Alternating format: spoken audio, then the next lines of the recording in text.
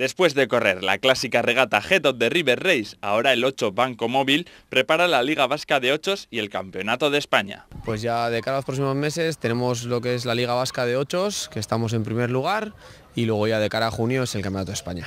Para este último será complicado ganar, ya que a nivel estatal hay mucho nivel. La gente ahora anda bastante, ¿eh?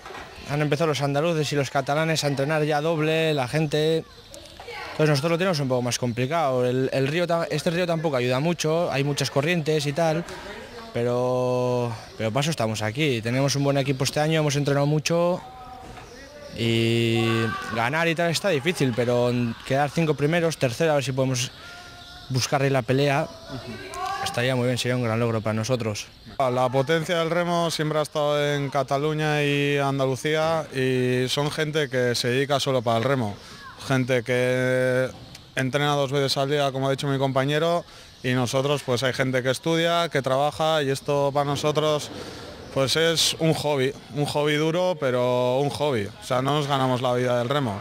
Así que, a ver, iremos a Sevilla a finales de junio y a pelear, a darles toda la caña que podamos.